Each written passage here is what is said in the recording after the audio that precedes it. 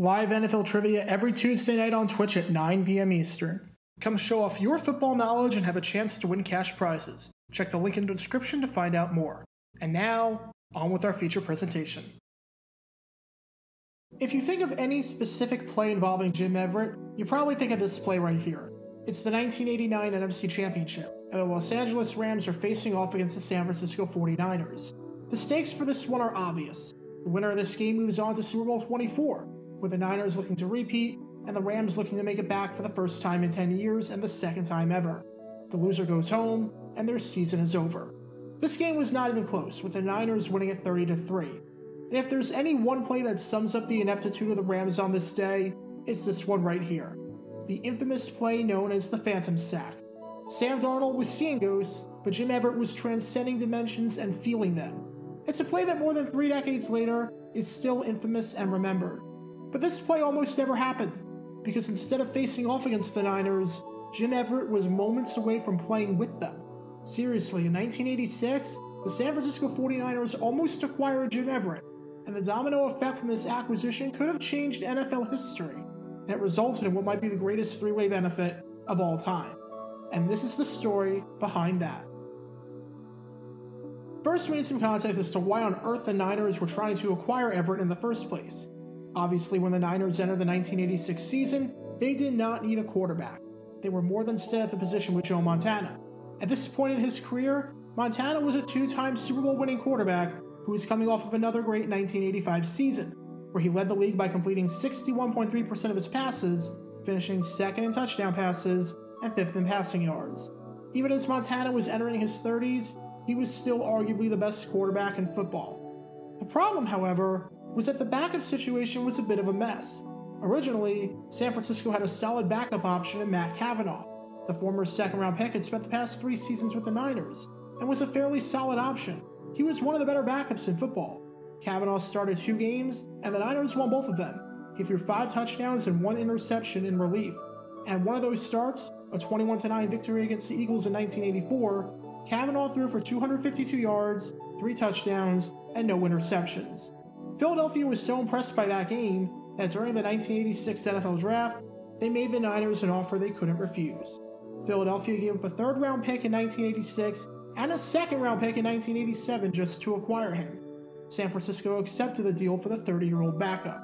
That left a hole at the position, which was filled by acquiring Jeff Kemp from the Los Angeles Rams. But Kemp wasn't exactly a household name. Since entering the league in 1981, he had completed just 49% of his passes, he had been sacked on close to 9% of his dropbacks. And while he had his moments in 1984 as the main starter on the Rams, in 1985, things didn't go so well, when he completed just 42% of his passes over five games while throwing no touchdowns and posting a 42.8 passer rating. This isn't to say that Kemp was a bad backup, but just that if Joe Montana got hurt and was going to be out for a while, they'd be in serious trouble. But that's never going to happen, right, guys? Right? September 7th, 1986. Opening day of the season, and we head to the Big Sombrero where the 49ers and Buccaneers are facing off against each other. As a side note, I made a video about how Bo Jackson almost became a 49er, and Ronnie Lott almost became a Buccaneer that offseason, if you want to check that out in the upper right corner. The good news for San Francisco was that this game was total domination. The Niners won it 31 7, never trailing at any point. The defense forced seven interceptions, and they outgained the Bucks by 167 yards and it was another great day in the office for Joe Montana, who completed over 69% of his passes while throwing for 356 yards and a touchdown. The bad news was that Montana got hurt during the game. He didn't know it at the time, but on a play action pass as he was trying to throw to his left, something happened and he suffered a ruptured disc. Even though Montana felt the disc go, he didn't feel any pain until after the game, when it became obvious that he needed to undergo back surgery.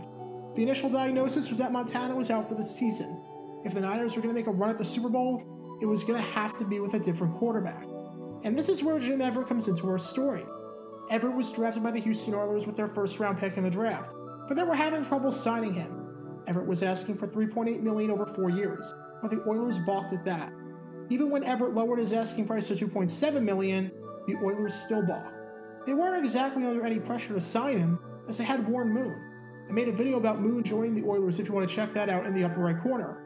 But because of these salary demands, Houston was looking at trading Everett and getting something good in return. With that, the Niners called up Houston. San Francisco was willing to offer a bundle for the rookie. The Niners had two first round picks in 1987. They were willing to ship both of them to Houston. The Niners also had a second round pick in 1988 that was set to go to Houston.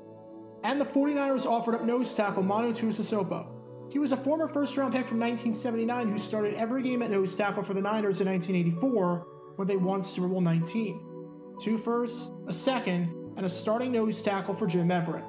While Houston was intrigued, they didn't want Manu. They wanted Michael Carter, the team's Pro Bowl nose tackle from 1985. San Francisco didn't feel comfortable with giving up Carter, who was younger and was playing more than Manu at this point.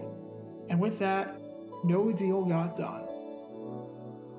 Eventually, Everett found his way on the Los Angeles Rams. The Rams gave up five time Pro Bowl guard Kent Hill, defensive end William Fuller, and a couple of first round picks to acquire him. The Rams were looking for a quarterback after 34 year old Steve Bartkowski put up a couple of clunkers, including a game against the Cardinals on opening day where he went just 5 for 21. Plus, all the quarterbacks on the roster were in their 30s, so they needed to find someone young. As head coach John Robinson said, we had to pay a healthy price, but we feel it's worth it. You look ahead to the next five years, the big stumbling block for the Rams was a quality quarterback.